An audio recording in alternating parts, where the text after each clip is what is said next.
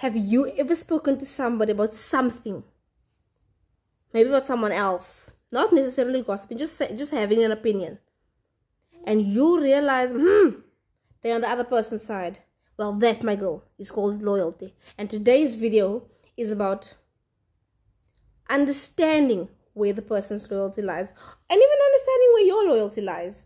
So without wasting any more time let's get into this video. So first of all identify where your loyalty lies. Understanding where your loyalty lies will make your life every situation very easy. For example my loyalty obviously lies with my husband like that's a given. So you cannot come and tell me something about my husband and expect that i'm not going to tell him. Mm-mm. my loyalty lies with him and well that goes without saying. Same with you. I can't come and tell you oh yeah this that and the other about your husband or your father. Your loyalty lies with him. So i must understand that and behave accordingly. Secondly understand where people, other people's loyalty, loyalty lies. Like no, know where their loyalty lies with whom it is. And then you know. Hmm. You know let me let me make this let me make this more spicy. Understand where the people's loyalty lies whom you speak to the most. Because that's like you don't need to care about where the neighbor's loyalty lies whom you never even chat to. Like you don't worry because Maki it's got nothing to do with you it will never affect affect you. So understand where the people's loyalty lies whom you speak to the most whom you communicate with the most whom you spend most of your time with.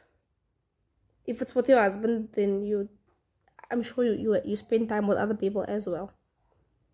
Corona, maybe not but i'm sure there's one or two other people. And then stop saying everything to everybody. You do not need to share every single detail of your life with every single person on the face of this earth near. You must know what to say to whom.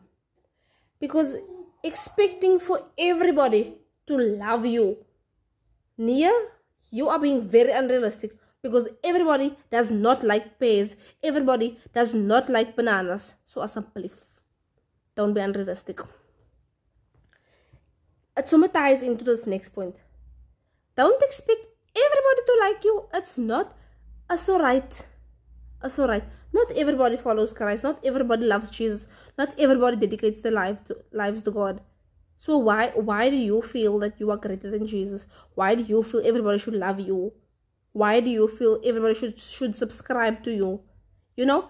And even like with, with this YouTube channel, I do not expect the whole world to subscribe to my channel because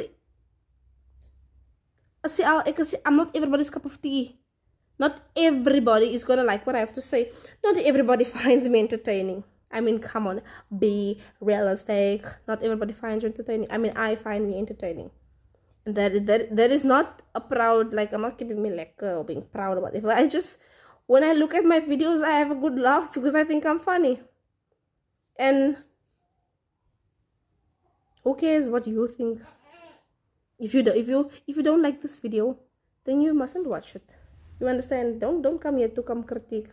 Click out. And the last point. Speak less. Like i have i've matured a lot and i speak less. Obviously it's not gonna it's not gonna appear that way on the video because i'm recording myself and i'm i'm supposed to speak like every second of the moment. So when you like when you're with people or or, or just in general speak less and listen more. Because if you if you listen more you you'll you'll realize many things you will get to know many things you will understand people more you will understand the situation more if you just learn to speak less and listen more. And don't don't just be quiet to speak. Listen to understand and absorb and understand the situation and know where this is going. And then then you have a better perspective of the situation. Then you understand more. Stani. so if you have come this far in this video and you are not yet subscribed why? Would you please be so kind to subscribe to my channel? And if you ever had a conversation with someone and felt mm-mm, i should not have said that. Please comment down below and say yes. You don't you don't have to say, say the situation. You don't have to spill any beans. Just say yes me. Yes me. And the last thing don't forget to like this video